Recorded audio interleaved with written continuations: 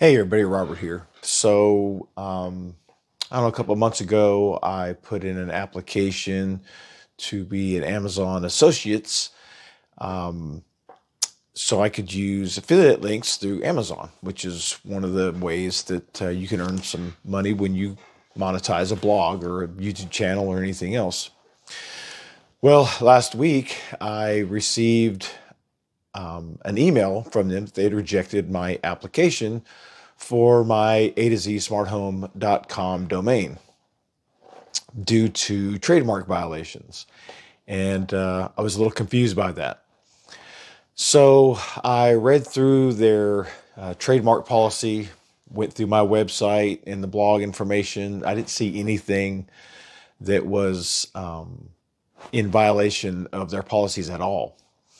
Um, I did reach out to uh, Greg Gottfried, who um, who has the YouTube affiliate marketing course that I have linked, um, and he looked at my blog and didn't see anything either. But he said he did a little deeper digging and discovered that Amazon has trademarked A to Z. so I was like, oh, okay.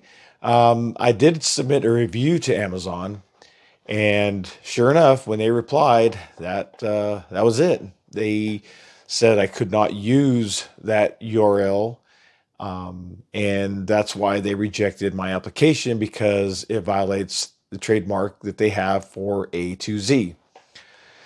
So I would never have thought that. Um, I did do some search in the beginning before I bought that domain to make sure there's nothing else using it and that you know there didn't seem to be any other issues. But i didn't do any kind of like trademark you know research uh, because i would not have thought that a to z would have been trademarked at any rate.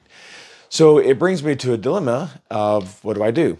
Um, i can continue to use a to z smarthome.com for my blog and also my youtube channel run the risk of them actually submitting a cease and desist to me to say stop using that domain altogether. And of course, I would not be able to have any Amazon Associates affiliate links. So I could not earn any money through the Amazon um, program, which would be detrimental because that's a lot of products they have that, you know, you can pretty much get anything under the sun through Amazon.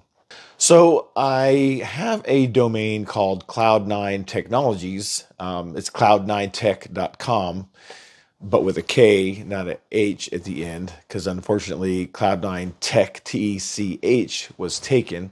Uh, but that's all right. Um, so I decided to go ahead and use that domain and rebrand everything. So I have all of my blog information and website information moved over and I have just finished completing the migration of the YouTube channel so I can move it into a branded account and then add the Cloud9 Teck domain as primary owner. Um, and then once all that process is done, I'll probably completely um, eliminate the A to Z smart home domain altogether.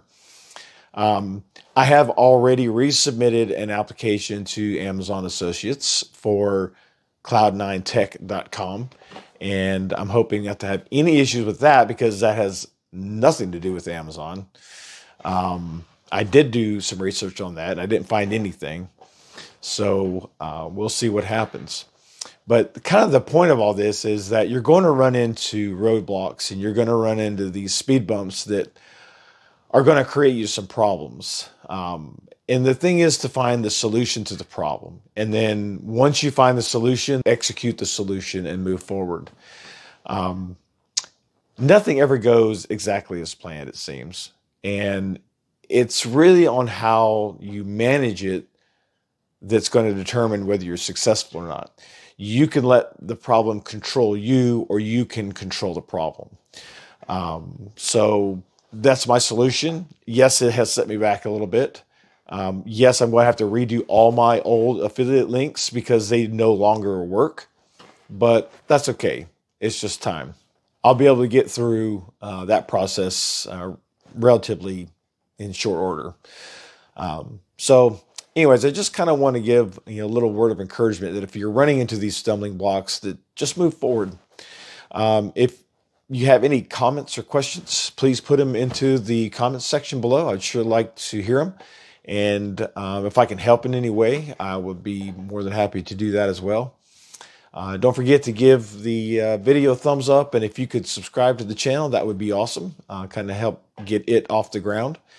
And uh, as always, I appreciate you guys watching, and we'll catch you next time.